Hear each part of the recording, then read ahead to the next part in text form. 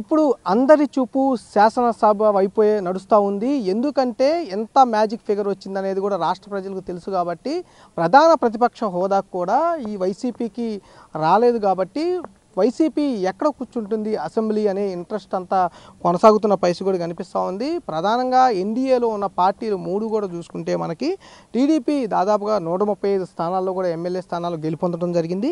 అలాగే జనసేన ఇరవై ఒక్క స్థానాలు గెలుపొందడం జరిగింది. మీ వైసీపీ వచ్చి పదకొండు స్థానాలు అలాగే బీజేపీ వచ్చి ఎనిమిది స్థానాలు కూడా గెలుపొందడం జరిగింది. ఇక్కడ ప్రధా ప్రధాన ప్రతిపక్ష హోదా రావాలి అంటే కంపల్సరీగా పద్దెనిమిది ఎమ్మెల్యే స్థానాలు అయితే అసెంబ్లీలో ఉండాల్సి ఉంటుంది. వైసీపీకి ప్రధాన ప్రతిపక్ష హోదా కూడా వచ్చే అవకాశం లేదు. టెక్నికల్గా కానీ అసెంబ్లీ పదకొండు స్థానాలు మాత్రమే వైసీపీకి వచ్చినాయి కాబట్టి అసెంబ్లీలో ఎక్కడ కూర్చుంటారనే ఆసక్తి అయితే నెలకొంది.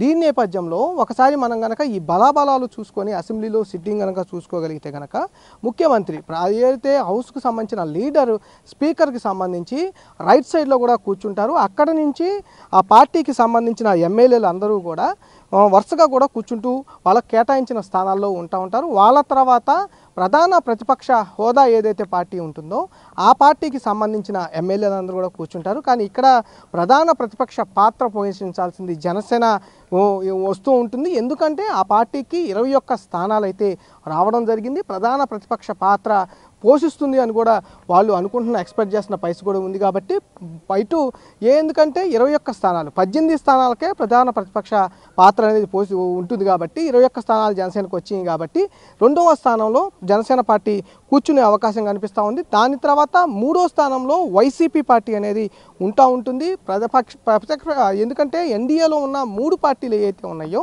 బీజేపీ కానీ జనసేన కానీ టీడీపీ కానీ ఈ మూడు అలయన్స్లో ఉన్నాయి కాబట్టి మూడు ఒకదాని తర్వాత ఒకటి కూర్చునే అవకాశం ఉంటుంది. రూల్ ప్రకారం కూడా చూస్తే ప్రధాన ప్రతిపక్ష పార్టీతో పాటు ముందు అధికార పక్షం కూర్చుంటుంది. తర్వాత ప్రధాన ప్రతిపక్ష పార్టీ తర్వాత కూర్చుంటుంది. దాని తర్వాత మిగతా పార్టీలు ఏవైతే ఉంటాయో ఆ మిగతా పార్టీలు అనేది కూర్చొని సిట్టింగ్ ఉండే అవకాశం ఉంటుంది. ఇప్పుడు అలయన్స్లో ఉన్నాయి కాబట్టి అంతేకాకుండా రూల్ ప్రకారం కూడా ఉంది కాబట్టి ముందుగా టీడీపీ తర్వాత జనసేన కూర్చునే అవకాశం కనపడుతుంది. తర్వాత ప్రధాన ప్రతిపక్ష పాత్ర లేదు కాబట్టి అంటే రూల్ ప్రకారం ఏదైతే పద్దెనిమిది స్థానాలు లేవు కాబట్టి పదకొండు స్థానాలకే వైసీపీ వచ్చినాయి కాబట్టి దానికి ఏదైతే మొదటి లైన్ అంటే స్పీకర్కి లెఫ్ట్ సైడ్లో కూడా ప్రతిపక్ష పార్టీలు అనేవి కూర్చుంటూ ఉంటాయి.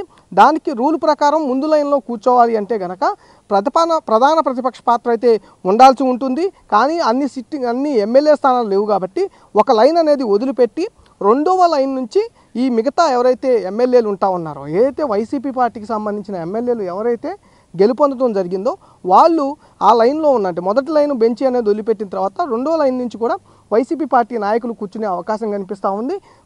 దాని తర్వాత బీజేపీ నాయకులు అంటే అలయన్స్లో ఉన్నారు కాబట్టి జనసేన తర్వాత బీజేపీ నాయకులు కూర్చునే అవకాశం ఉంటుంది.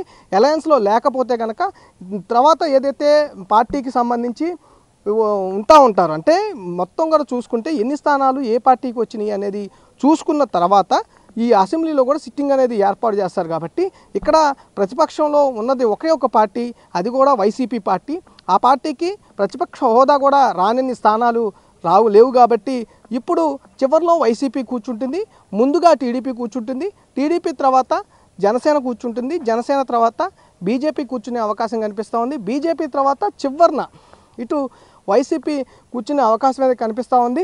ఏదైతే అసెంబ్లీ రూల్ ప్రకారం ఏదైతే ఎన్నుకున్న తర్వాత ఏదైతే ఎమ్మెల్యేలు వచ్చి ఇక్కడ ఎమ్మెల్యేలుగా ప్రమాణ స్వీకారం చేసిన తర్వాత ఈ రూల్స్ ప్రకారం వైసీపీ పార్టీ ఎక్కడ కూర్చునేది అనేది కొంత క్లారిటీ అయితే వచ్చే అవకాశం కనిపిస్తూ ఉంది. మనకు తెలిసిన ఇన్ఫర్మేషన్ ప్రకారం అయితే స్పీకర్కి లెఫ్ట్ సైడ్లో కూడా వైసీపీ పార్టీ కూర్చునే అవకాశం ఉంది. కానీ ముందు రోల్ అయితే వైసీపీ పార్టీకి దక్కే అవకాశం లేదు కాబట్టి సెకండ్ రోల్ నుంచి వైసీపీ పార్టీ కూర్చునే అవకాశం అయితే మనకి కనిపిస్తూ ఉంది. Camera సురేష్తో Mallikarjuna big TV Vijayawada.